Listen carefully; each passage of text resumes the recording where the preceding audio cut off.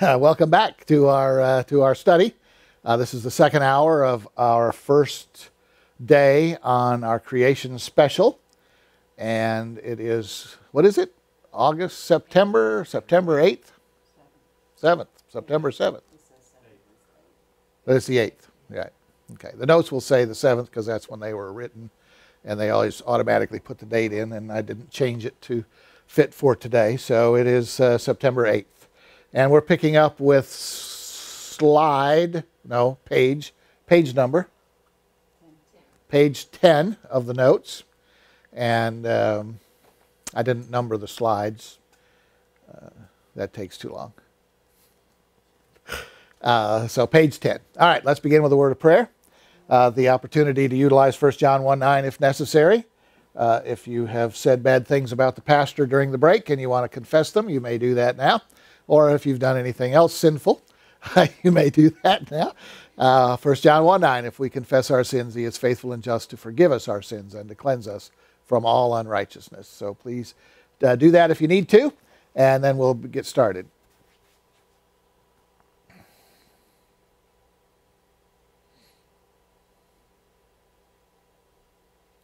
Father, as we look at this next hour, we ask for your insight into the questions and the answers that we have and the, uh, and the data that we look at uh, as we study. We thank you for it. In Jesus' name, amen.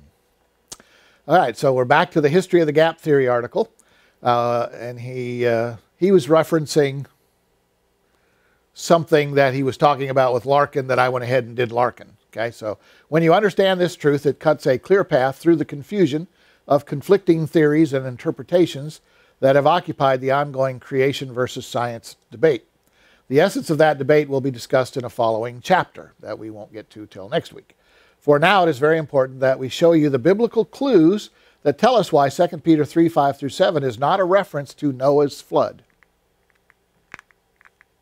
Clue number one compare the phrase, the heavens and earth which are now, to the phrase, the heavens were of old.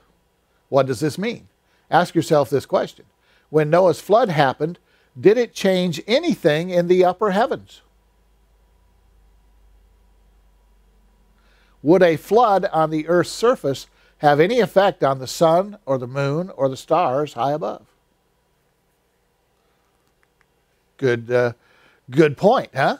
The obvious answer is no. The heavens of Noah's days were the same heavens as in Adam's day same sun, same moon, same stars, same planet Mars. Fact Noah's flood had no effect on the upper heavens. All of Noah's flood's effects were confined to the earth's surface and its atmosphere. And although the Bible speaks about the windows of heaven being opened and water coming down, the context of that reference is the first heaven, which is the earth's atmosphere. But Second Peter uh, says, the heavens and the earth which are now, to the phrase, the heavens which were of old. So he's talking about multiple heavens, not just a heaven. The Earth's atmosphere, or first heaven, is where the rain comes from. Keep in mind that the Bible says there are three heavens. This will be explained in great uh, detail, not shortly, but later.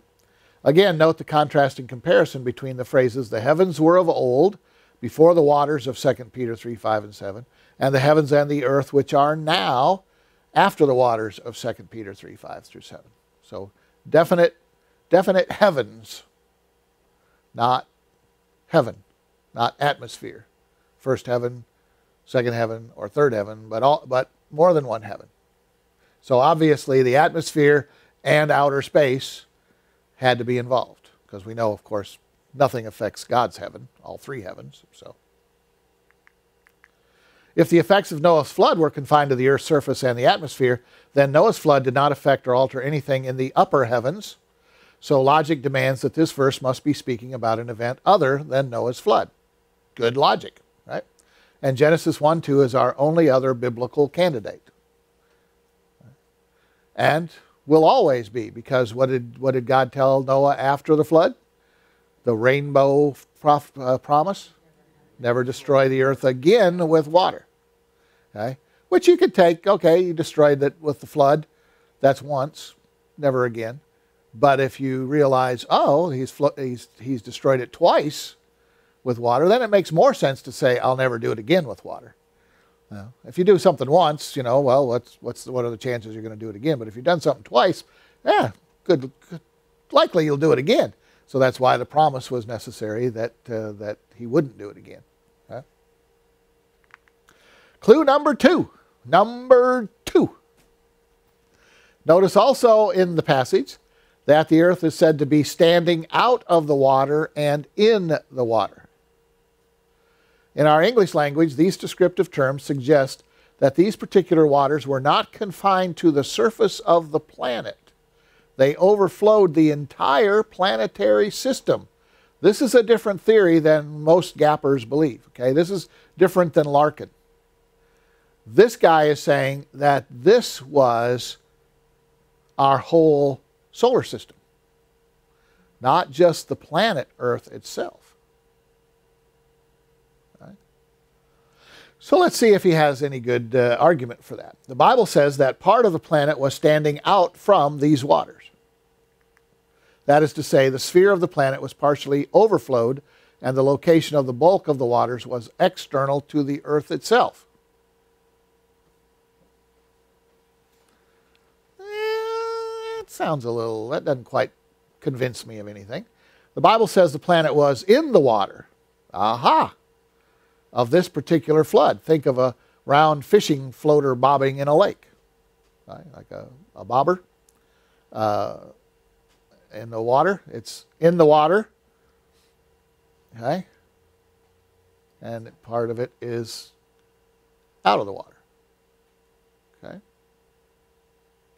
So if you take a round fishing bobber and you say that the lake is our solar system, and you drop that in the water, then the planet is in that water of the, that's engulfing the entire solar system, and but is standing out of the water, out of that water.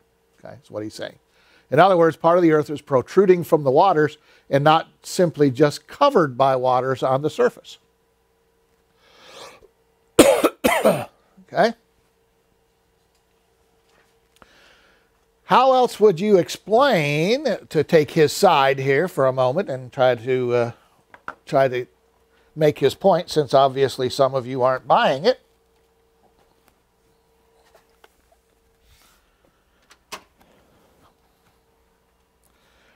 All right, so. Okay, are we supposed to be agreeing with him? I knew somebody was going to ask that question. Well, and are, is he taking the Greek and the Hebrew words correctly? Like, is when so when he's saying in the water, like, is that really what the Greek and the Hebrew says it that way? Uh, essentially, yes. Essentially, yes. Okay. All right. So uh, here's uh, here's the Earth. Okay. And it's covered covered with water, right?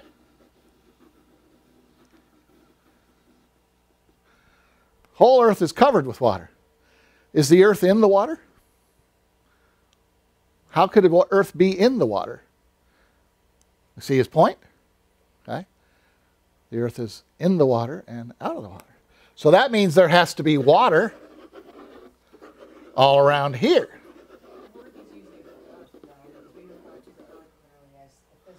The planet. Mm-hmm. Okay? But but we have no no inkling that there was any part of the earth that wasn't in the water. That wasn't covered by water. I mean that would say that that the water covered this much of the earth but didn't cover that part of the earth. But it says it was total. So it couldn't be this. It couldn't be that some of the earth was not covered by water, some of the earth out of the water, some of the earth in the water, meaning land.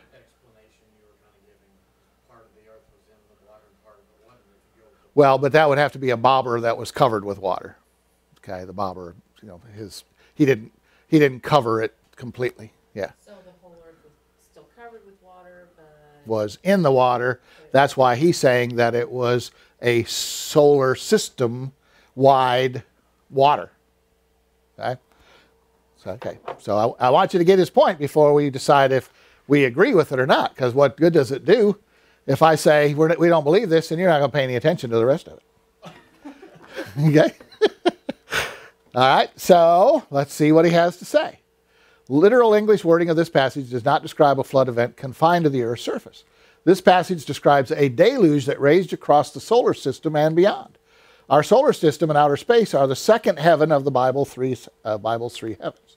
Try to draw this mental picture. Think of a dark and ruined solar system with water strewn throughout like one big, messy galactic spill. That is what Genesis 1 2 is speaking about. And imagine the planet Earth drifting awash in this roaring and rolling, formless mess. Where would such waters have come from? Well, it's an established scientific observation that aging stars create and give off lots of water.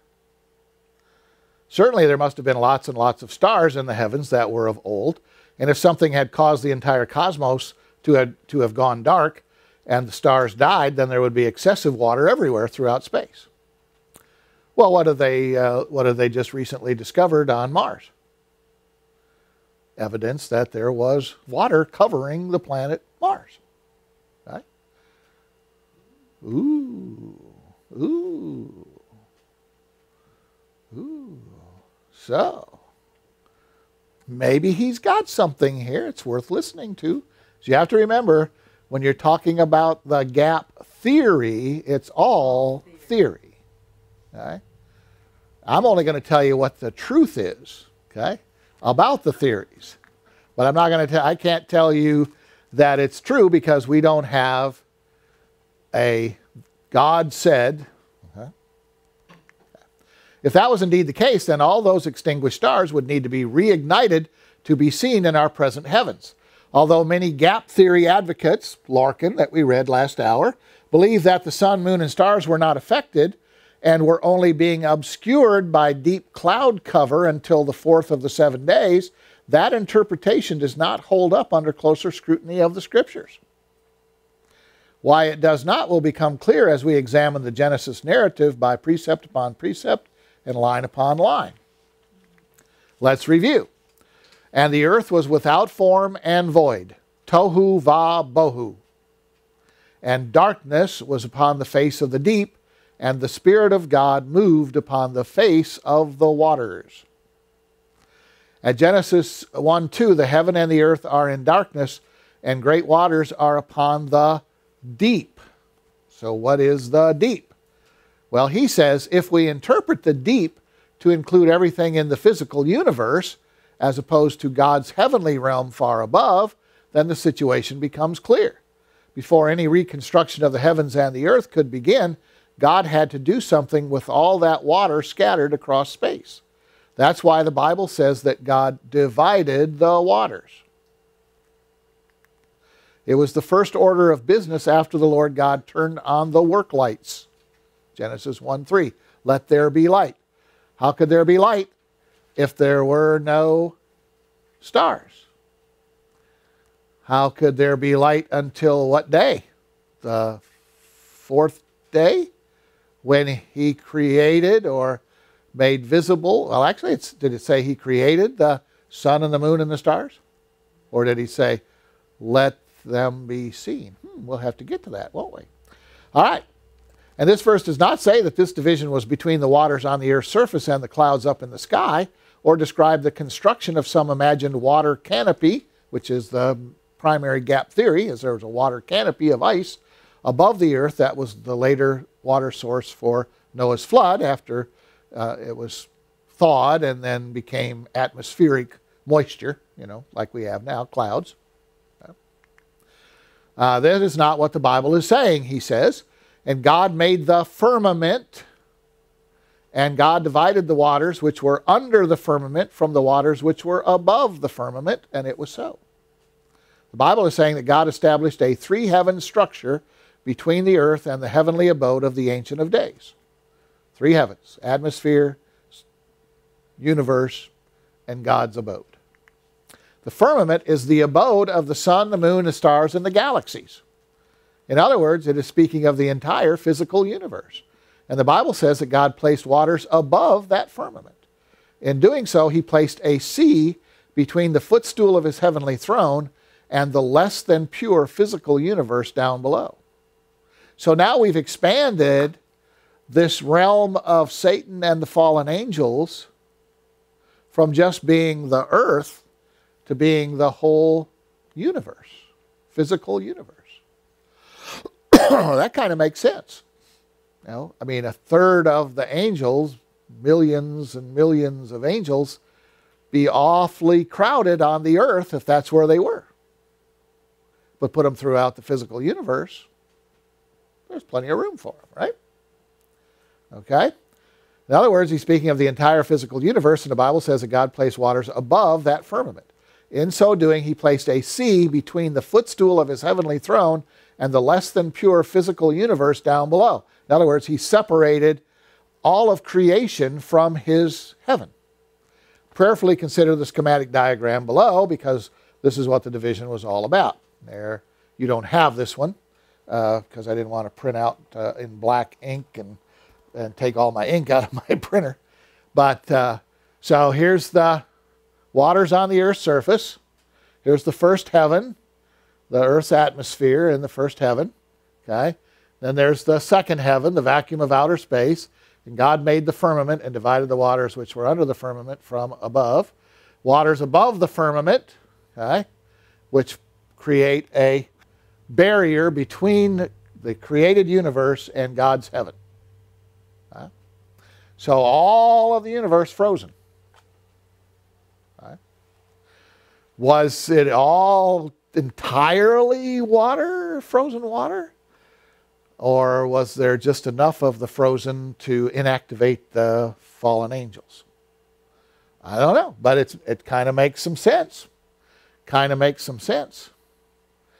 We might have to look up firmament and and delve into firmament a little more to, uh, to find out.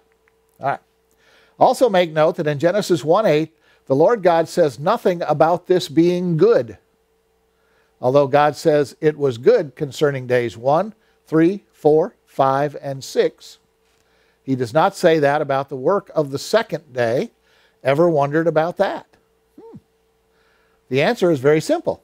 Although this division was not good, it was necessary to protect the creation from the flaming glory of God's holiness.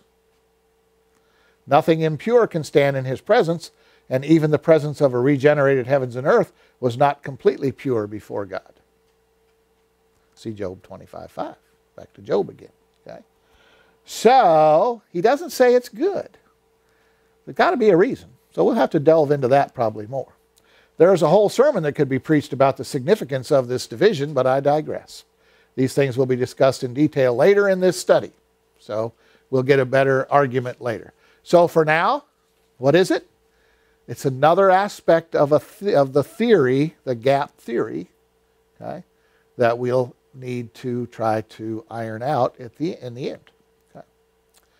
All right, so the next we would go into the history of the gap theory interpretation. Uh, and uh, but if we do that, we're never going to have time for questions. So we're going to save that for next week. But we are going to go to the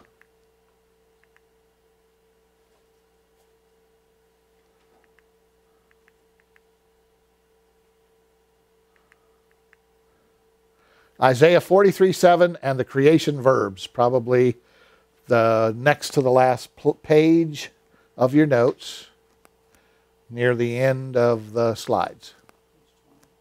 Page 20 and which corner? Bottom right. Okay, so there should be like three slides, this one and then the two on the back of the page to complete it. All right, here's Isaiah 43 7. Uh, Everyone that is called by my name, uh, for I have created him for my glory, I have formed him, yea, I have made him. Okay? So what has come from this uh, way of expressing things in the English, from the English Bibles, King James Bible predominantly, is uh, where you uh, repeat for effect or repeat for emphasis. So if I say this, everyone is called by my name, for I have created him for my glory. I have formed him, yea, I have made him. We'd say, oh, that's really, he's, God is making sure you get it that he is the one that is the creator, right? If you leave out my, my uh, brackets there and just read it that way, modern politicians will, you know, when they're speaking, they'll repeat themselves in a different way for emphasis to make you really think that they're, they're really saying something. Okay. Well, that came because of English translations rather than understanding what the Hebrew actually said, because each of these words is different. The first word for created is bara, and the second word for formed is yatzer, and the third word is asa. So there are three different words to say something, and he's not just repeating himself, he's breaking it down for us. And so here we need to know what he's breaking down, what he is saying. Bara means to form something out of nothing. Okay? Well, that's the soul, man's soul. Okay? Yatzer means to sculpt something, to, to take it and put it together, you know, and mold it, sculpt it into a shape. Well, we know that he did that from what? Adam means red, the red clay that he used to form the body.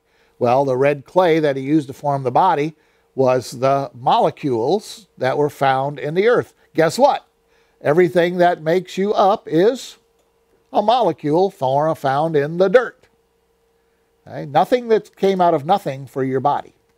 Your body came out of dirt. For dirt you are, and to dirt you shall return, right? That's how we do funerals. Okay?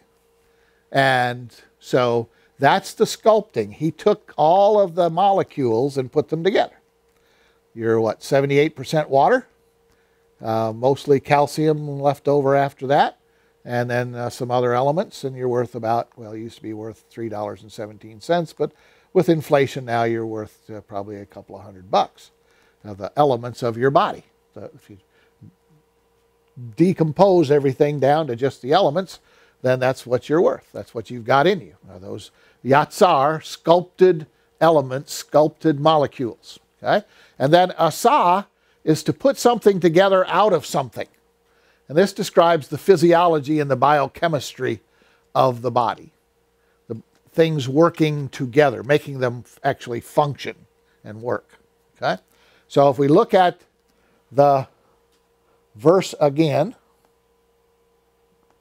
if I can get my.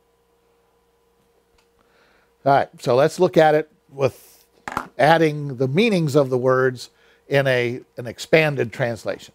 Everyone that is called by my name, for I created his soul out of nothing, uh, out of nothing for my glory. I have formed his anatomy. Yea, I have made his glands and organs to function in him in the earthly environment. Okay? So there are three verbs in creation the soul, the body, and the physiology, right? the form and the and the function. So the soul and the form and the function. God's word is very precise. Much too precise for those cavemen running around making cave drawings. Okay? These people had to be smart to know these kind of things. Right? Had to be smart to know these things thousands of years ago and to be able to understand when God told them what he had done. Okay? All right. Questions. Number one, question number one. Who's first? Um, in the first, um, do we want to broadcast this or? Do you wanna go? Sure, that's fine. 5 through 7 where it says, For this they willingly are ignorant. So who are they in that statement? And why are they willingly? That means that they just don't want to believe, right? Right. So anybody got that in their Bible? The question is in uh, 2 Peter 3, 5 through 7, uh, why does it say, For this they are willingly ignorant? Of that by the word of God, the heavens and earth were old, and the earth standing out of the water and in the water. So, I thought that was interesting. Getting there. Why are they willingly ignorant? In the last days, blatant scoffers will come, being propelled by their own evil urgings, and saying, Where is his promised return? For ever since our ancestors died, all things have continued as they were from the beginning of creation. For they deliberately suppress this fact, that by the word of God, heavens existed long ago, and the earth was formed out of water and by means of water. Okay, the question was uh, the people in uh, 2 Peter 3 5 through 7. Uh, it says that they are willingly ignorant uh, of these facts. Why, who are they and, uh, and why? Okay, so um, uh, we have to look at the context. And uh, to get the direct context, we have to go back to verse 3. And he says, uh, from the uh, Amplified Version, he says, To begin with, you must know and understand this that scoffers will come in the last days scoffing, uh, who, people who walk after their own fleshly desires, This and say, Where is the promise of his coming? For since the forefathers fell asleep, all things have continued exactly as they did from the beginning of creation. Okay? And that's interesting because uh, evolutionists, part of the theory of evolution is that everything has been the same ever since uh, uh, since the universe began. Everything has continued without change.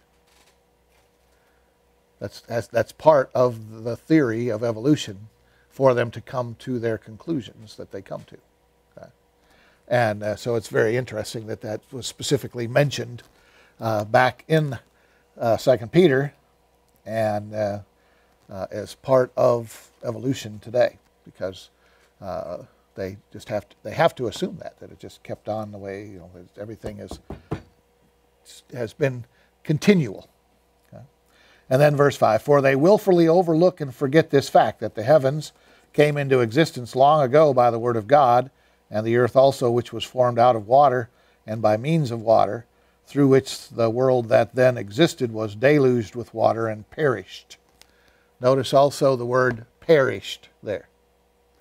Did the earth perish when uh, at uh, Noah's flood? No. No. The earth did not perish at that time. Okay? So that's another clue as to why that reference isn't to Noah's flood, that it has to be. Could people say though it perished is that the earth perished as they knew it, that it wasn't the same after that? The question was, could uh, could people say that it perished because as they knew it, because it wasn't the same after that? Yeah, they could, but but then it would have to say that life perished, not the earth perished. Uh, that uh, that that certain animals, some of the animals perished. But when you say the earth perished, that's you know, the whole thing. Yeah. All right. Next question. Okay. We're having this question and answer period because somebody had questions.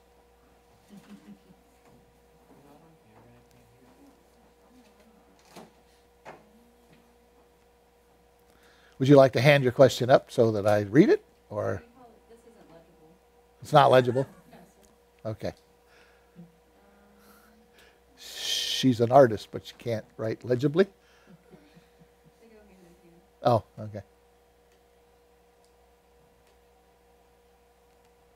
Anybody else while she's deciphering her own handwriting? Oh, well, I can read it. Oh, you can read it. Okay.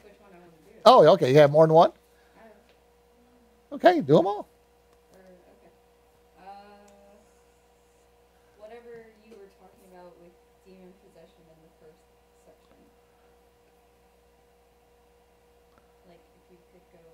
What I was talking about, uh, the que- demon possession in the first question, in the first part. first section. You talked about how whether demons had a body, didn't have a body, were were they angels? Oh, they're not You talked about several things in topic of demons. demons. Right. Demons aren't evil. Okay, the question is uh, demons. Demons are disembodied spirits, probably of angels. Probably of angels who lost their bodies, who God took their bodies away from them. Okay? What is demon possession? Demon possession is that spirit of that angel uh, without a body wanting a body. So they are, they will enter into human bodies to uh, to be able to have a body, because Where's they the soul of that person that what's that? where's the soul of the person that the demon spirit goes into? Where is their soul go? They're they're there. They're there. Does it override their, uh, it, I mean, because all I know is from what I've seen on television or movies. or Movies, whatever, right?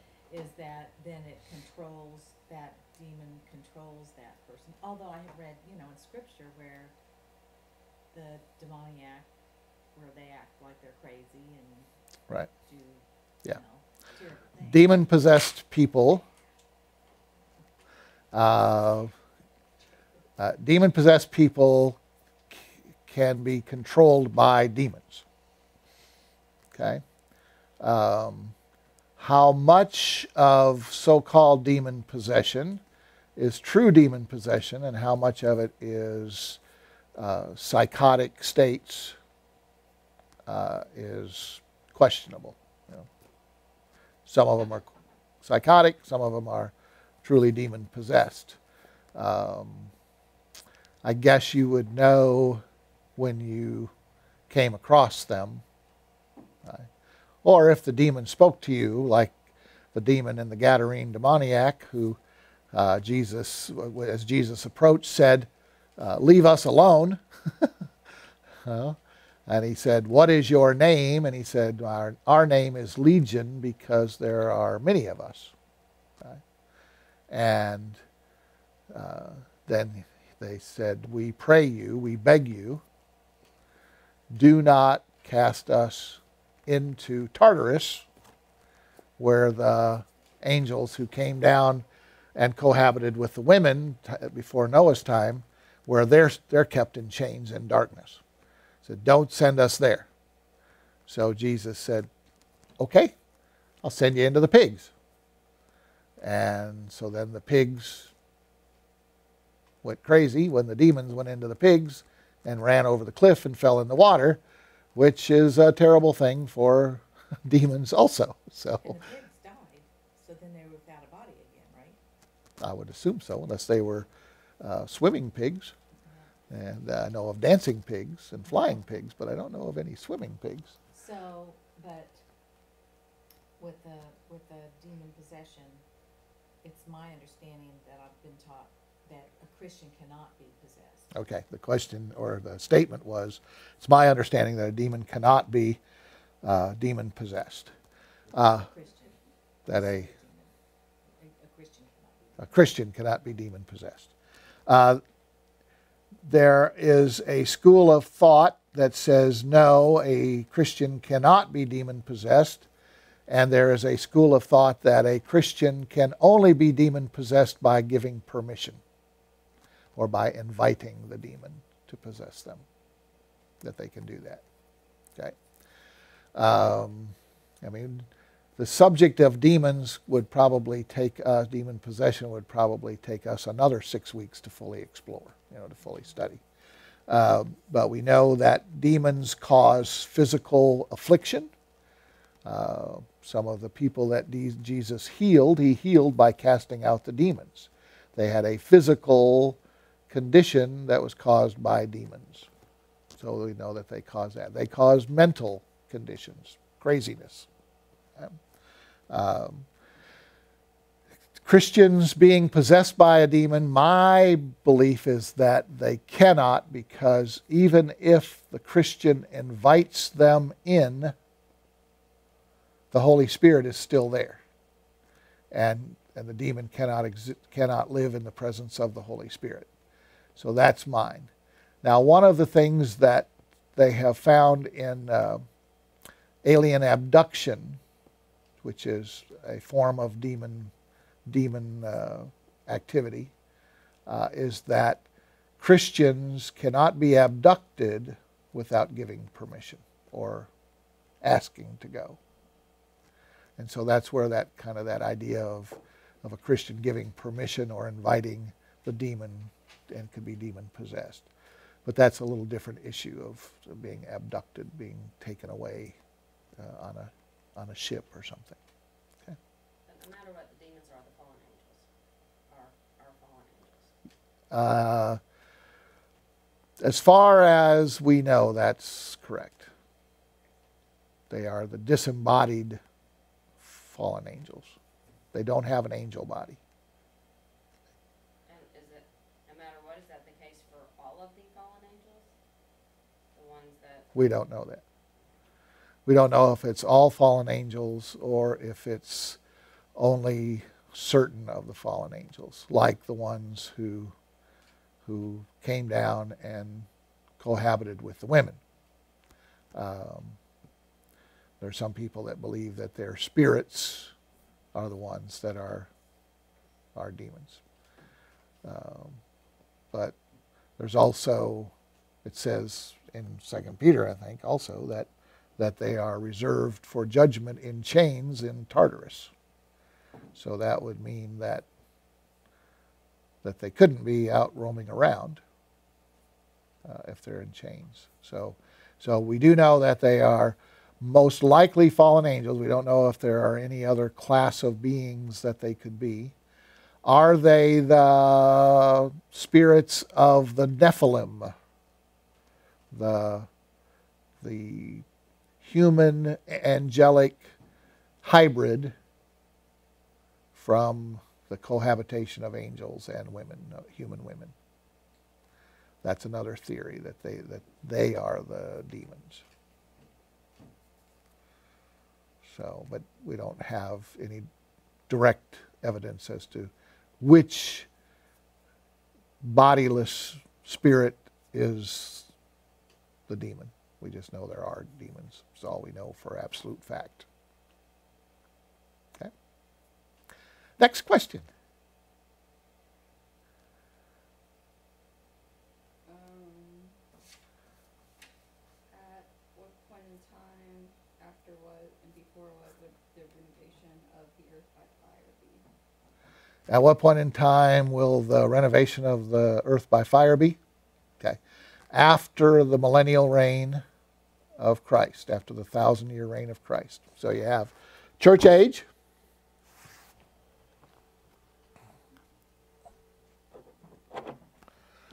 Church.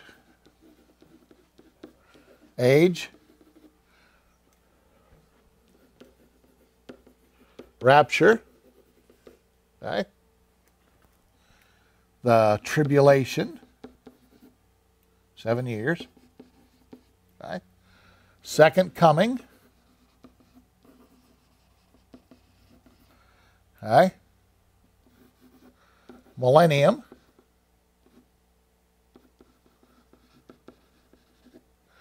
And at the end of the millennium, then you have fire renovation and then you then we go into eternity future okay okay after the church age rapture then the tribulation period then the second coming of christ then the millennial uh, age 1000 years that's a thousand years and then at the end of that then uh, the, the earth is renovated by The heavens and the earth are renovated by fire, and then then we go into eternity. Which, which is referred to as the new heaven and the new earth. New heavens and new earth, right? The new heavens and the new earth.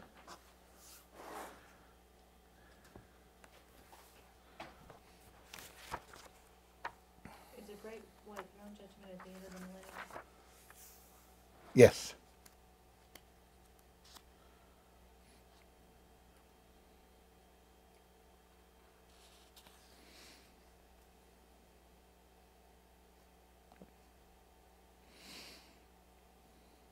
The uh, millennium uh, can also be called the kingdom age because that's when the kingdom comes.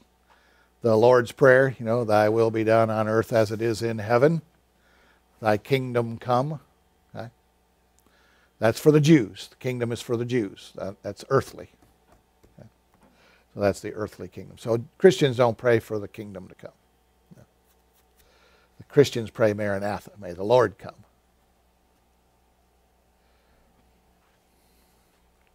Next question.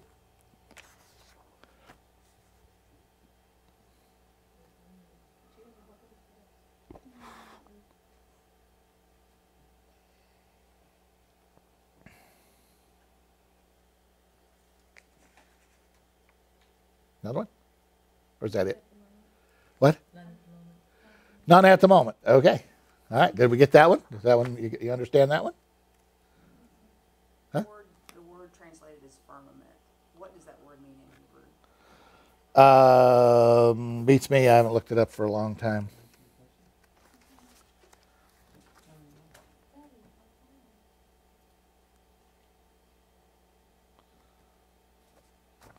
So I'd have to look up uh, firmament in the in the Hebrew.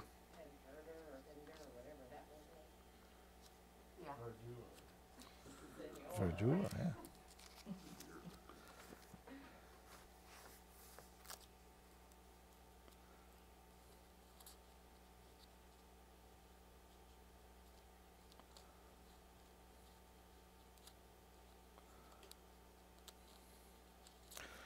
The uh, Amplified Bible translates it expanse. Whether or not that's the the whole uh,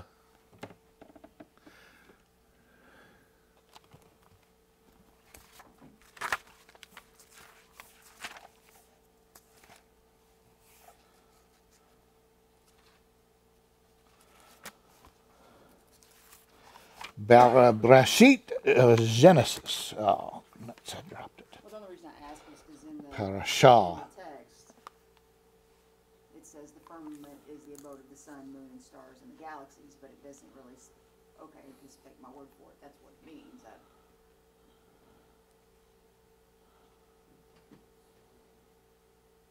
Say what? in the, in the. In the text, in the in his text, his yeah, text. not the Bible text. Right. Right. Yeah, he doesn't. Uh,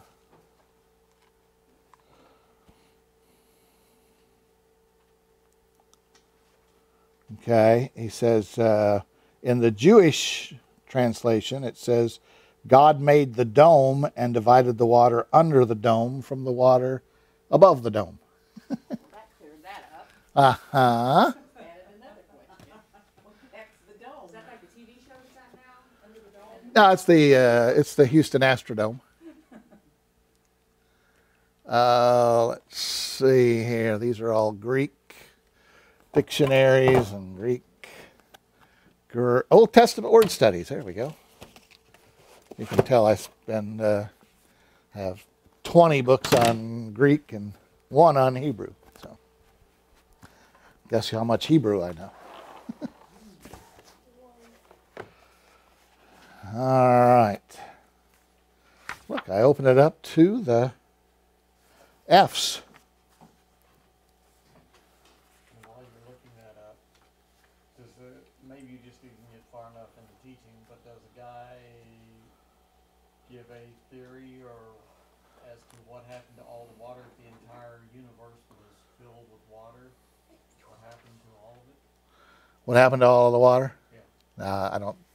Well, he said that he would get into that later, didn't he? So I haven't even read all of his stuff. It's a lot of pages. Firmament, masculine, uh, the expanse spread out over the earth in which the stars appear as if they were fixed, the arch or vault of heaven. Um, firmamentum, or according to our present knowledge of the heavens, that extensive circumambient fluid, the atmosphere. Okay? So we have two. in the same uh, in the same definition, we have firmament, the atmosphere, and firmament, uh, the uh, outer space where the stars appear. So it would take a much uh, more uh, detailed word study than Wilson's. Uh, Hebrew? What, like, what was Genesis written in? Hebrew. So when, so, The New Testament is Greek. So there's kind of some definition referring back to the Old Testament. So he's in the basically Greek. choosing, unless he's done more extensive research. Yeah, and To interpret, to make his, to make his argument, he is. Right, and he does that because it says that the earth was in the water. Okay. So if it's in the water, does, and he refers also to the second heaven as being a sea, could it be that the second heaven is like water and then there's above it would be the ice? Well, anytime you hear water uh, during this time, you're thinking ice. Okay? Because it was frozen. It was, it was frozen. So if it's all frozen, how are there different sections? Cause isn't a frozen body of water a frozen body of water? How would you have the two sections? Well, if- frozen bodies of water? Well, there, uh, what? Who said there's two sections? No, cause he said he divided the top. He divided them, right? Right. So what? If you have two heavens that are frozen, the atmosphere heaven is frozen, and the outer space is frozen. You you have two two different places that are frozen. You have the Earth that's frozen in the solar system that's frozen. That's why he's saying that the Earth is in the water as well as being covered by water. Okay. But, but at that point, okay, like if you had an ice cube Uh huh. and then you put an ice cube in a little thing of water and you froze that, you would then have one ice cube, wouldn't you? Hmm, you'd have an ice cube in an ice cube. that's a good description Or though. if you put a thinking like pea, a ball if you instead put a, baseball. what if you put a pea in a, in an ice cube tray, and you froze the pea in the ice cube, and then you took that ice cube out and you put it in a bowl of water, And you put part of it over top of the water, and then you froze it, then you would have the earth covered by. Covered by water and in the water. In the water. Right. Is that? Yep. Okay. Yeah. See, my little pea brain, we have to use peas as. Peas are making hay. Okay, so that was a good analogy. If you took a pea to represent the earth and put it in, and froze it in a in a, a, a an ice cube tray, and then took that ice cube out and put it in another bigger container and froze that, then you would have the earth, the pea, covered with water, but yet in the water as well, in the ice as well. We, if it's covered with water and we're doing like the bobber type thing and it's also in the water while also being covered, if you, if this is the water and our little pea ice cube is sitting in there, what is all this area? Well, and and that was his poor analogy, but it, it's water. It's ice also. So It's- it's ice. Submerged within water and then submerged. It would be a bobber under the water rather than floating on the water. Just when he drew the little picture to the right. Yeah, it looked like it was sticking out of the water, so there wasn't anything above it. Right. All interesting stuff that I guess we'll find out for sure. Yeah, we'll know the full answer. So our conclusion would be, the reason why we would want to study this verse and know these things would be so that if you were having an evolution conversation, or for anybody to be saying, well, anything about God, then you are more equipped and you have the scripture to say, this is what we know about Right. earth and God and, and creation. And Right. Yeah, the whole purpose of the study of non essential doctrine, which is any doctrine other than how to live the Christian life, is to be able to answer, because the Bible says, be ready to answer. Right? And so, uh, if you have to be able to answer people like college professors who try to browbeat you, or even high school teachers, who there was a case just not too long ago of a of an English class professor who was talking about uh, in his class if you are a Republican, you are a racist. If you are a Tea Partier, you're a racist. If you are anything other than a liberal, you're a racist. Um, because your whole life is consumed with hatred for black people. Well, uh, first of all, what place does that have in an English writing class, creative writing class? That's politics. That's you know that's not that's not a writing class. So, but that's uh, and and he says uh, if you are a Republican, then you need to get out of my class because you don't belong. Huh? No. No. He was a white professor. But see, that's a bias. A bias that if you are against anything that the president says, it's because you're a racist. If you want voter ID so that there is no voting voting fraud, you're a racist. You're trying to keep black people from voting. Even though the statistics show that the states where they have voter ID, the percentage of black voters goes up and the percentage of Hispanic voters goes up, not down. Right? So their argument is false, but they, that doesn't matter because their bias is you have to be a racist.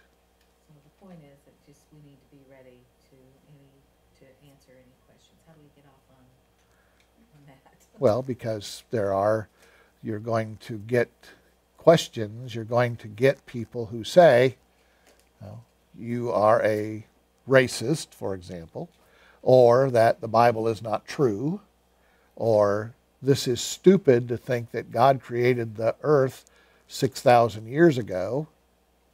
Okay? Yeah. That's ridiculous. So then when you know this stuff, you can say, well, So your point was just that she may even encounter adults in a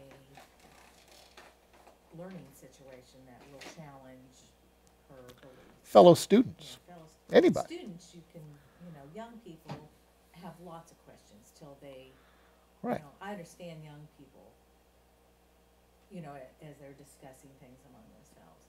For a teacher in a classroom to stand up and say that, which I know they do, um, is, to me, that's so wrong. It's, it's just wrong. Yeah. Okay. Okay.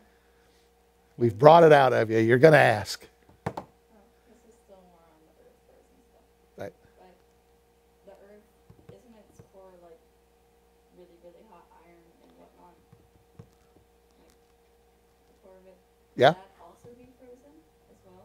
No, it's a covering of the earth, or over the earth. Okay. Right. So So the mole people that live inside the inner earth, they were okay. not worried about them. But, uh, so Are we still broadcasting? Yes. Oh boy.